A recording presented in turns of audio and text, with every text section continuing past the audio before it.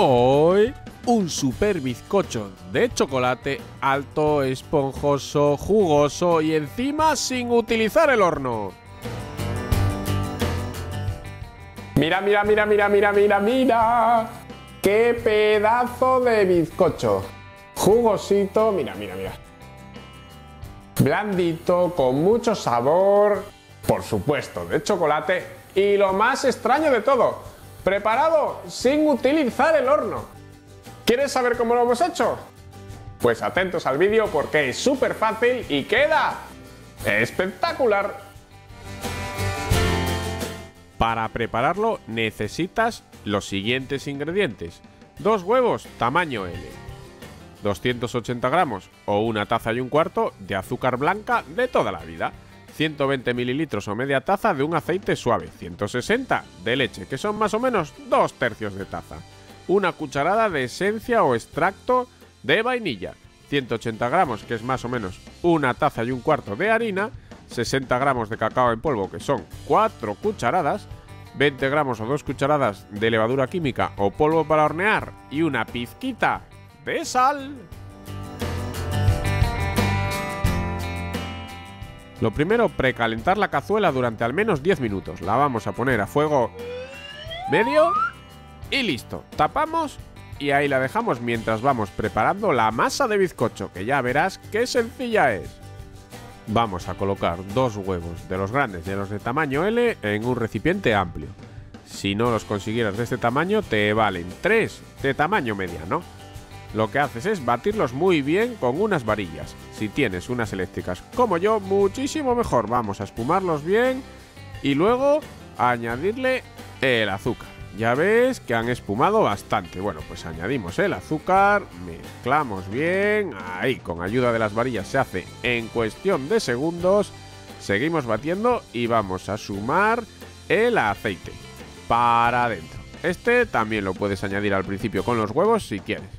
Venga, tenemos el aceite, los huevos, todo espumado, como ves ha blanqueado y triplicado su volumen, así que momento de añadir más líquido, en este caso la leche, para adentro. Batimos un poco para que se reparta y para adentro la esencia de vainilla, con una cucharadita ya nos da potencia de sabor suficiente. Mezclamos bien para que los sabores se unan y listo. Ahora a sumar ingredientes secos, que siempre recomiendo hacerlo a través de un colador o tamiz para que no nos queden grumos, se mezcle más rápido, más fácil y encima quede más esponjoso el bizcocho. Así que, atravesando por un colador, vamos soltando la harina debajo. Así de fácil. Primero la harina y luego vamos a añadir el resto. Es decir, el cacao en polvo por aquí, que ya os digo que es cacao puro, no nos vale el de desayuno. Podríamos usarlo, pero sabría bastante menos potente. Yo recomiendo cacao puro, la levadura química y la pizquita de sal. Todo para adentro. La pizca de sal es opcional, pero te lo recomiendo porque realza mucho los sabores. Así que parece que no, pero en los dulces suele ir muy bien una pizquita de sal. Ahora que tenemos todos los ingredientes dentro, solo queda mezclar por última vez. En este caso voy a usar las mismas varillas de antes. Pero, ya te digo, que lo voy a hacer con cuidado. Vamos a darle unas vueltecitas primero sin encender la máquina para que la humedad y los ingredientes secos se vayan impregnando y al encender no nos salga volando todo en forma de nube por la cocina. Y una vez que ya esto empieza a generar una especie de cremita, encendemos al mínimo la maquinita. Vamos moviendo, raspando también por los laterales y el fondo para aprovechar eso que siempre se queda adherido y pasados dos minutitos tendrás una crema como esta, perfecta. Ahora lo que vamos a hacer es preparar un molde. Como ves tiene 18 centímetros de diámetro y lo he forrado con papel de horno. Quiero que me quede un bizcochito alto, así que he usado este molde. Me quedará perfecto para luego preparar una tarta con relleno si es que es lo que quiero hacer. Bueno, a lo que íbamos. Cremita de chocolate para dentro del molde. En este caso ya te digo que es uno de 18 centímetros de diámetro. Vamos a volcar toda esta crema que ya ves que tiene una pinta impresionante. Apetece, dime la verdad, apetece comerse las cucharadas. A mí por lo menos me pasa. y lo que voy a hacer es, en vez de meterlo al horno, cocinarlo en una cazuela. El truco está en levantar un poco el molde. ¿Con qué? Bueno, pues con cualquier utensilio que te valga para el horno, que valga para calentar. En este caso, estoy utilizando tres cortapastas de aluminio, que me parece lo más sencillo. Cualquier cosilla que puedas poner dentro y te levante un poco el molde para que el aire también circule por debajo, será perfecto. Lo colocas dentro, apoyadito y listo. Tapamos y ya tenemos en nuestra cazuela generado el mismo efecto que en el horno. Así de fácil. Ahora a esperar. Normalmente tarda un mínimo de 50 minutos en estar listo, pero este tiempo oscila mucho, oscila mucho. Así que cuando veas que tiene buena pinta, pinchas con un palillo y si sale limpio, ¡estamos! El tiempo depende un poco de la potencia de calor que tengas, de la humedad, de la cazuela, así que ya os digo que puede oscilar bastante. Yo lo he preparado otra vez en otra casa con otra cazuela y otro molde y me ha tardado una hora y 20 para que te hagas a la idea. Pero ya os digo que con 50 minutos ya empiezas a tener opciones de que esté. Si quieres asegurar, hornéalo 5 minutillos más, aunque se te queme un pelín por abajo, no pasa nada, ya os explico luego un truqui para que eso no dé ningún problema y así te aseguras de que está cocinado perfecto. Lo que hacemos es darle la vuelta sobre el plato donde lo queremos presentar y retirar estos papeles de horno que habíamos puesto. Mira, he hecho lo que os dije, darle 5 minutillos más de lo que necesitaba para asegurarme de que esté bien, bien cuajado. Y esa fina capa que se nos quema no me preocupa nada en este caso, porque con un cuchillito la retiras en un momento, no tardas nada, porque la capa es súper superficial, muy fina.